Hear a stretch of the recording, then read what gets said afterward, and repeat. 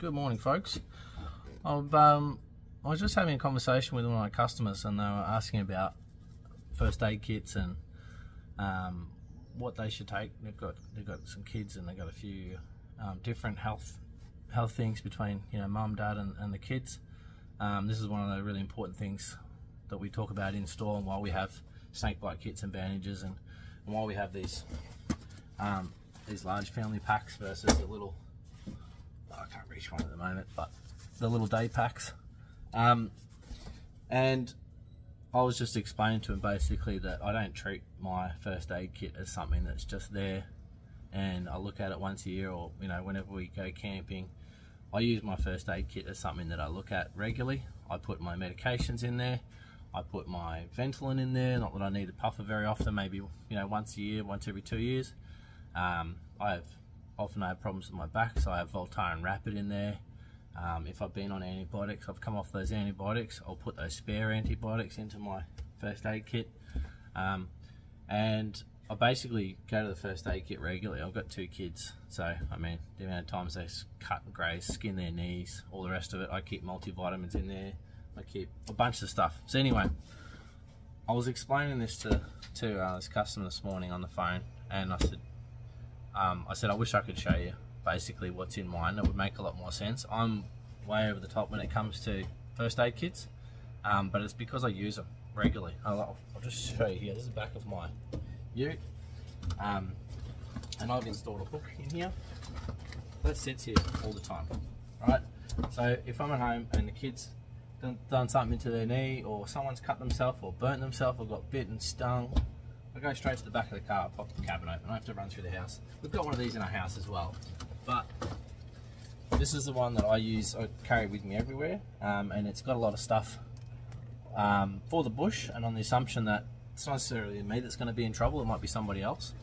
And that's happened to me quite a few times when I've been out in the bush. There's been motorbike riders that waved me down, and of course, uh, I'll give you one example. I was um, I was out at a spot one day. There was about 15 motorbike riders hooning around all day. Um, and as I'm coming back into town, they basically blocked the road, stood across the road. I'm coming tearing down this track, and they're standing on the road, and I thought, geez, these guys are going to try and mug me or something. They were like, you know, they were try, really trying to stop me. I pulled over, and they said, thanks for thanks for stopping. Do you happen to have a first aid kit? I looked at these guys, and between them there would have been quarter of a million dollars worth of bikes and padding gear and all the rest of it none of them had water or a single first aid kit amongst them. Now this guy had come off his bike, he had gravel all down the side, he'd lost a heap of blood, um, and he was shaken, you know, he was, in a, he was in a pretty bad way and they didn't know what to do for him. His bike was manged up, none of their bikes were set up to, to carry another bloke in that condition, so I was able to pull out my first aid kit, basically had to get the guys to hold him while we did, a, he wouldn't let me clean his arm, so we ended up doing a spray bandage to stop the bleeding, which is a horrible way to do it, to put all that put all that stone and everything inside the cut, but he was fighting us. and we stopped the bleeding. Um, I was able to get his bike and stuff in the back of my back of my tub, and um, we gave him some uh, electrolytes. I gave him a couple of bottles of water. We put some electrolytes in there and tried to get him to calm down. Got his fluids back up because he'd been, you know, riding really hard, had massive adrenaline.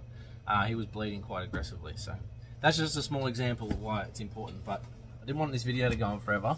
I'm gonna open up my first aid kit and just show you what's actually in there. Because, uh, and you don't need to, don't need to go as crazy as me, but it just might give you some ideas on what you might pack. So,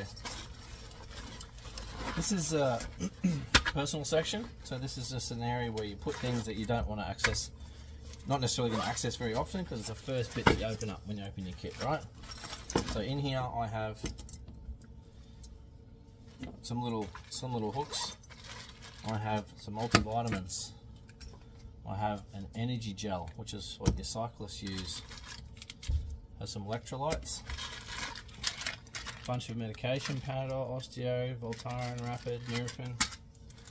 Um, there's a cigarette lighter in there, just in case instant cold compress. That you pop that and it, and it freezes up really quick. Great one for burns. That comes standard in this kit. Uh, heat blanket emergency heat blanket. That's come standard in this kit. Uh, this is another one. Yeah, these are pretty expensive but they're an awesome bit of kit to have in there. That's a life straw.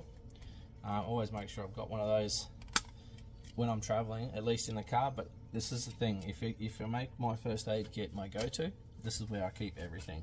So it's all in one place. I can just grab that bag when I, when I and chuck it into my backpack if I'm hiking out, or if I'm going into the house, going somewhere different away from my car. Um, these are antibacterial tablets. They're sort of similar to similar to the life straw. You can use those to, to get into some nasty water. Um, I don't know if you ever gone to a chemist. You see they have little samples of products, very cheap little, you know, two dollars. This is just um, one of these is a moisturizer, and one of them is a, a, sunscreen. So, on a day that you've forgotten to bring your sunscreen out, you know that you're cooking a little bit, you've got that in the backpack there. All right, I'll just I won't bother packing this stuff back in because this video is taking too long. I've got more bandages, extra saline, um, some lip stuff, Stingose, that's in a gel, uh, survival blanket, it's just some cotton buds and a bit of tissue, bit of extra tissue in there. That's more of a in case of toilet type situation. Not sure how well you can see all this stuff. So this is all pretty much standard what comes in with the kit. You have your tweezers, you have splinter probes. I don't know if you've ever tried to get a splinter out by yourself, but these splinter probes are amazing. Uh, fever strips. You've got your first aid brief book here.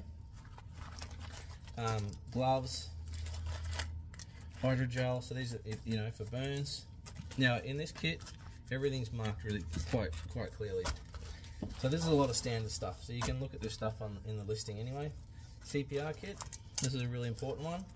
So with this kit particularly, you don't need to know what the process is. They actually explain the process in here. So you open that up for CPR, you pull this one out, it tells you check for dangers, check response, send for help, clear and open the airways, check for normal breathing, give 30 second chest compressions at 100 per minute, following two second, uh, two rescue breaths.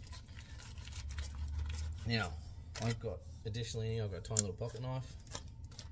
I've got some very small amount of tape, a little bit of copper wire, puffer. This is an absolute lifesaver if you're bleeding and you need to stop the blood really quickly. A spray bandage. Uh, everything else in here standard. Bandages, wound dressings, etc. And then we have eye pads, gauze, combine dressings, and so I'll basically check this periodically because we use this all the time.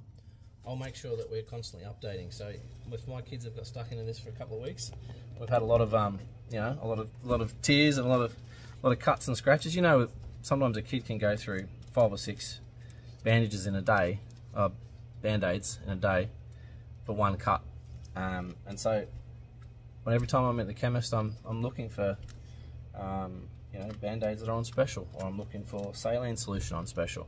And I'm constantly rotating. This stuff can sit in here for a couple of years and then it goes out of date. So you might as well toss it, replace it, and keep it relevant. Hopefully you don't ever need to use it. That's the ideal scenario. You don't ever actually need it and you've got it there. And you might just end up helping somebody else at some stage. But um, yeah, that's pretty much it. I just wanted to show you guys. Like, I know it's a lot of stuff. It's a lot going on there. But this is going to help out in a lot of situations. And it really doesn't cost a lot to have all this stuff ready and it may be the difference between having a really good adventure and a, a small drama just being that as opposed to being a really horrible event. Um, the other thing I would add, I'll, if I'm only taking a first aid kit, I'll definitely have a snake bite bandage in here. I actually have a snake bite kit on the other side of my truck there, which is a small kit, which I always take with me. But if you only have a first aid kit, learn how to wrap a snake bite and just have a snake or a, a, compression bandage in here. Um, I'll show you one other thing while I've got you quickly. This is pretty inexpensive. Bit OTT, but this is in case someone's choking. These are not very expensive.